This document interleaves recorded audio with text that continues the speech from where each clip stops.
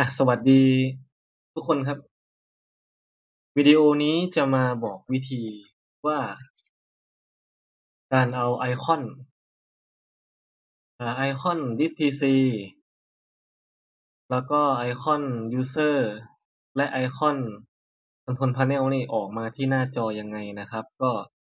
ตามปกติแล้ว Windows 10 นะครับ ถ้าเราลงใหม่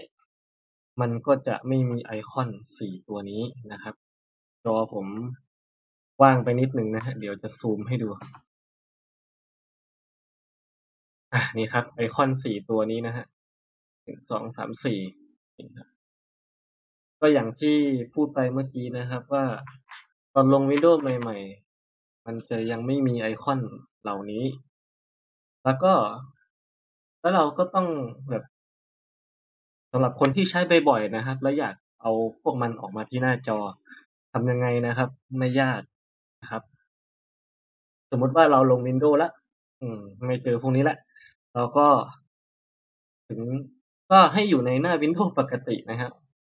อพอดีเพิ่งตื่นเนี่ยสมองเบลอนิดนึงอะเริ่มเลยครับ ผมคลิกขวานะครับ ไปที่ Display Setting นะครับ ตรงนี้เลยเอ้ย ขออภัยนะครับ Personnel นะฮะข้างล่างสุดเลย อืมครับ คลิกเข้าไปปุ๊บนะครับ ก็จะมีหน้าต่าง Setting ขึ้นมา ให้เราไปตรงที่คำว่า Team นะครับ นี่ตรงนี้นะครับ แล้วก็ให้มองหาคำว่า Desktop Icon Setting นะครับสำหรับคนที่จอไม่กว้าง มันอาจจะอยู่ข้างล่างนะครับ ให้เลื่อนลงอย่างนี้เอานะครับ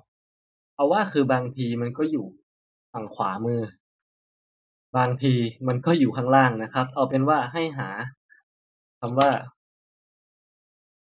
Desktop Icon Setting อย่างนี้ชัดเจนไหมนะครับผมซูมให้แล้ว นี่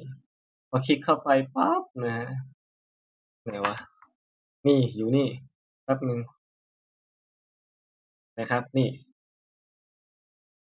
ใหม่ๆเลยนะครับ มันจะติ๊กแค่ Recycle Bin นะฮะ เราก็อยากได้เมื่อกี้อะสี่ตัวใช่ไหมหรือจะเอาห้าก็ได้นะ มี Network ด้วยนะครับ เอาว่าอยากให้อะไรมันขึ้นอยู่ที่หน้าจอก็ติ๊กถูกติ๊กถูกไปนะครับ ไม่เอาก็ติ๊กออกแค่นั้นฮะแล้วก็กดโอเคตรงนี้ อืมนะครับ จบแล้วนะฮะ ไม่มีอะไรง่ายมากจบเท่านี้ครับผม ขอบคุณมากครับ สวัสดีครับ